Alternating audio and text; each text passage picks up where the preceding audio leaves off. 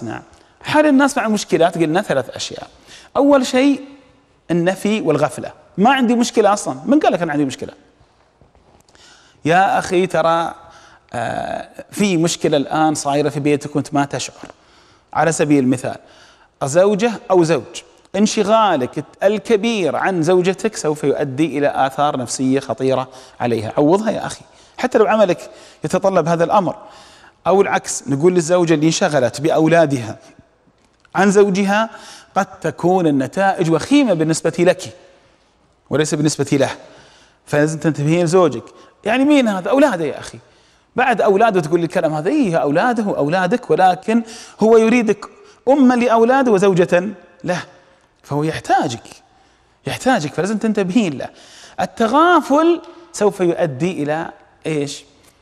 التراكم والتضخيم أو أقصد التراكم المشكلة. وإذا صار في تراكم لا نستطيع نحل المشكلة بعدين. الأمر الثاني اللي هو التضخيم والتهويل. يعني والله مشكلة كبيرة. ما أنا بعارف كيف أسوي.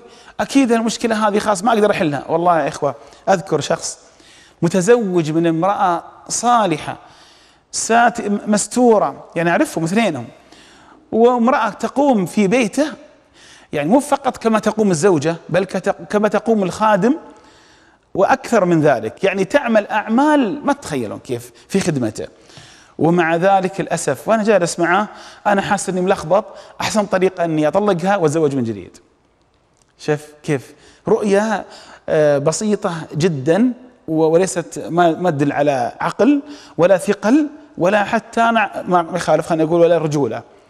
لأن من الرجولة أن تحفظ حق هذه المرأة اللي أنت أخذتها من بيت أهلها وتكرمها وتعرف أنها إذا فعلت كل هذا لك مو صحيح لأنك أنت ملخبط ومعارف كيف تتعامل مع مشكلة آه، تضحي بزوجتك.